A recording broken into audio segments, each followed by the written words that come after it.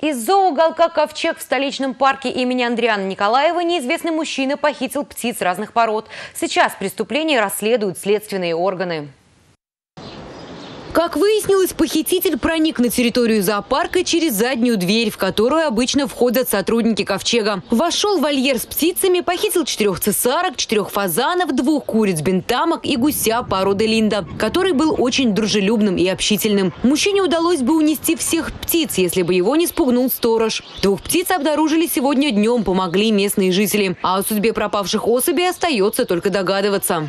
Как говорят специалисты, птица сейчас она в цене, потому что идет весна и э, птицу заводят в домашних хозяйствах на летний период на выращивание к зиме. Она сейчас растет в цене. Может быть, конечно, кто-то хочет ее съесть. Птица кричит, потому что они привыкли жить в семье, и сейчас она ищет и зовет всех тех, с кем она была все это время.